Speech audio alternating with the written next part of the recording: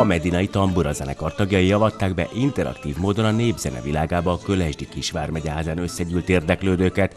A Tolna megyei önkormányzat által másfél éve indított programsorozat során ilyen zenei és képzőművészeti rendezvényeket szerveztek nyolc településen.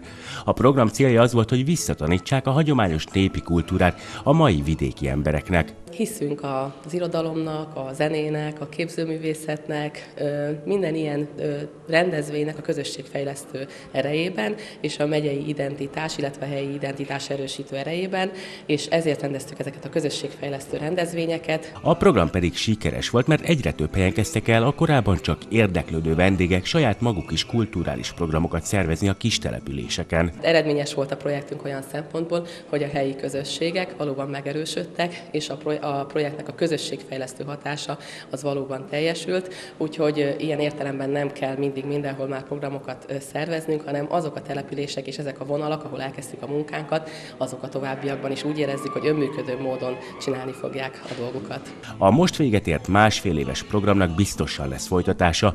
A Tolna megyei önkormányzatnál már ennek a részleteit tervezik.